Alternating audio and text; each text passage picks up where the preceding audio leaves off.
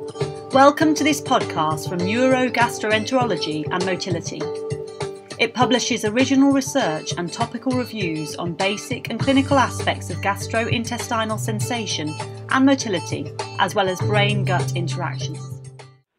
So, welcome everyone to this month's podcast from Neurogastroenterology and Motility. I'm Adam Farmer, I'm a gastroenterologist at the Wingate Institute in London. This month, it's my real pleasure to welcome Dr. Rudolf Schiekow, who's an associate professor at the Institute of Experimental and Clinical Pharmacology at the Medical University of Graz in Austria. So, Rudolf, welcome to the podcast and many congratulations to both yourself and your co authors on your paper entitled the GPR55 antagonist CID 61020046 protects against intestinal inflammation. So, Rudolf, if I could start off with uh, asking you about what is known about the G protein coupled receptor 55 and inflammation uh, within the intestine already. Um, actually, not much is known about intestinal inflammation and the GPR55 receptor. Um, a couple of years ago, we published a, a paper on a substance named 0602, which is a GP55 agonist. And we tested the effects in experimental colitis. And we, did, we tested this antagonist also in GP55 knockout mice because it showed beneficial effects in wild type mice. And so we wanted to see if these effects would be present, still be present in the GP55 knockout mouse. So the effect was still there in the knockout mouse, which means that um, 0602 had off-target effects. But what we also saw was that the inflammation in the knockout mouse was not as severe as in the wild-type mice, and so we pursued the study and plan to investigate GP55 in colitis uh, when a selective antagonist uh, would be available. Otherwise, there's not much known about uh, GPR55 and inflammation, gut inflammation. One work showed that uh, LPS upregulated GPR55 expression in the gut. And there was another group that showed that GPR55 was downregulated in the DNPS-induced colitis model. So, what's the difference between GPR55 and the uh, canonical uh, cannabinoid receptors? So, although GPR55 can be activated by endocannabinoids such as anandamide, um, the receptor is different to cannabinoid receptors in several aspects. Uh, first, GPR55 only shares um, 13 14% of sequence homology with the canonical um, cannabinoid receptors and belongs to a different cluster of receptors. It's more related to the nucleotide binding receptors like P2Ys and also to other GPCRs like GPR55 and GPR18. Then second, it's uh, among the endogenous ligands that bind to GPR55. It's the it's, uh, it's a lysophospholipid, LPI. That is the main ligand, or while um, endorphin, the, while the endocannabinoid 2-HG, for example, is not a ligand for GPR55. What is also interesting is that certain CB1 antagonists, such as uh, rimonabant at AM251, can activate GPR55. A third, uh, the GPR55 also differs to the CB receptors with regard to signal, signal transduction pathways. So CB receptors um, usually couple to inhibitory, inhibitory G proteins, they reduce the production of cyclic A and B, and they open potassium channels and hyperpolarize the cell and lead to an inhibitory action. While GP55 it couples to G alpha 13, uh, 12, 13 uh, G proteins and GQ proteins, and they activate uh, it activates downstream molecules like RhoA and um, also increases calcium release. So this indicates that GP55 probably has a role in cell migration and cytoskeleton remodeling. What do we know about uh, the role of uh, cannabinoid receptors uh, in regards to inflammation within the gut? And is there any data uh, concerning the effect of cannabinoids in patients with inflammatory bowel yeah. disease?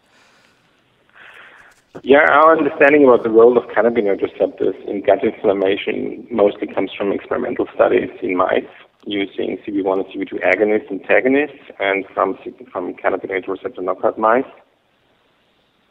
So already 10 years ago, uh, the, the, group of Bert Lutz and Martin Storr in Munich, they already showed that in CB1 knockout mice, that the receptor, that the CB1 receptor is necessary to protect from intestinal inflammation. And later, there, there were studies that showed that uh, blockade of the endocannabinoid degradation system, like uh, enzymes like uh, fatty acid amide hydrolase, which is responsible for the degradation of enanthamide, um, was protective against intestinal inflammation. And also new CB2 agonists are now, they, um, are now have been now described, and they are protective against intestinal inflammation. So from the experimental point of view, CB, receptors have a protective role in inflammation, but it's not quite clear uh, how this comes about. And um, there are several possibilities of explanation because cannabinoid receptors are part of the so-called endocannabinoid system, which consists of the CB receptors, uh, endogenous ligands, and also the synthesizing and degrading enzymes. And the gastrointestinal wall actually accommodates all of the components of the endocannabinoid system. And it seems that these components are differently expressed in human IBD, uh, which indicates that the endocannabinoid system has a regulatory role in um, disease progress. So, what was your hypothesis as you embarked uh, on your study?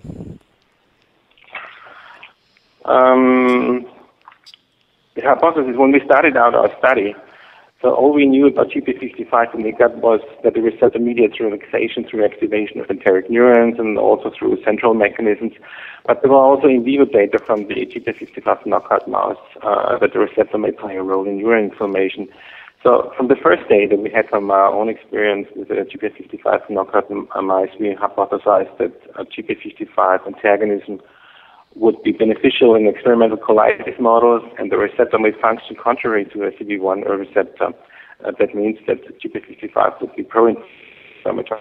Sorry and our second hypothesis was that the role of the leukocytes would, uh, that the leukocytes would play an important role in the beneficial effect, since GP55 is expressed in quite a few leukocytes, um, such as macrophages, lymphocytes, and neutrophils, and that the antagonist would inhibit the influx of some of these cells.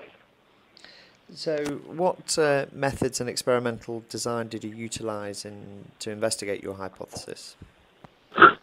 So, we, we used two, um, two in vivo models of chemically induced colitis in mice. That's the TSS model and the TNBS models. They are very comparable to human inflammatory bowel diseases.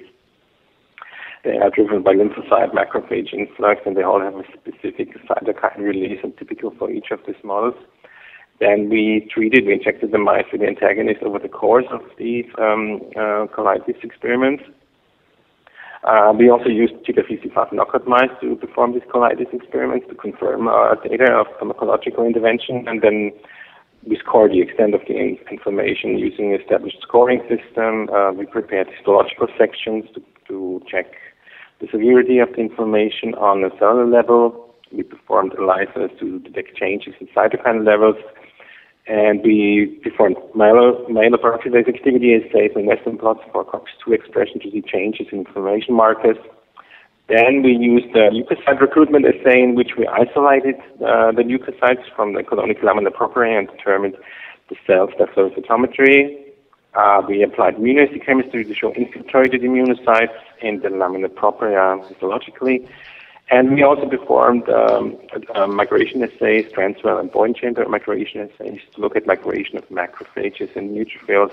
And we finally used uh, behavioral tests, open field tests, actually to look at the possibility that the antagonist itself may have effects on the central nervous system and could produce psychoactivity. So, what were the main result? What were the main results from your study? So, the main results were that we could show that a selective TP55 inhibitor, if you have a compound identifier name, it's CID 160200046, it improved this, the severity of the inflammation in two experimental, um, uh, experimental colitis models. Uh, it was accompanied by a decrease in MPO activity, so a, uh, a reduction in inflammation markers, and a reduction in pro-inflammatory cytokines like TNF alpha and interleukin beta. Uh, we saw a decrease in the expression of COX2 in the colon tissue. Uh, we, we, saw that CD3 positive lymphocytes and macrophages in the lamina propria were decreased after the treatment with the antagonist. Uh, in the migration assays, we saw that the GP55 antagonist could block the migration of the mouse macrophages and that of neutrophils. And we could see that the, in the GP55 knockout mouse, the colitis was uh, much less severe than in wild type mice. And finally, we could see also in the locomotive and anxiety behavior assays that the antagonists, uh, that the antagonist treated mice were not different from the control mice. So, given your results, uh, what would you propose as the underlying mechanism of action of uh, GPR55 antagonists?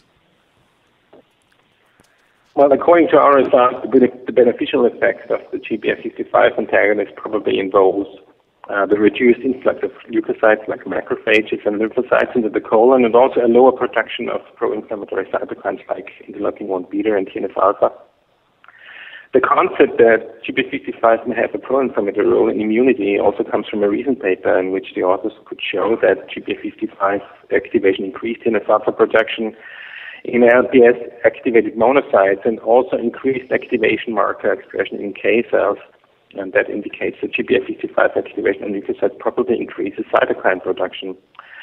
But uh, as GPR55 is also expressed, expressed in epithelial cells, endothelial cells, and also in the enteric nervous system, um, additional effects may also be possible.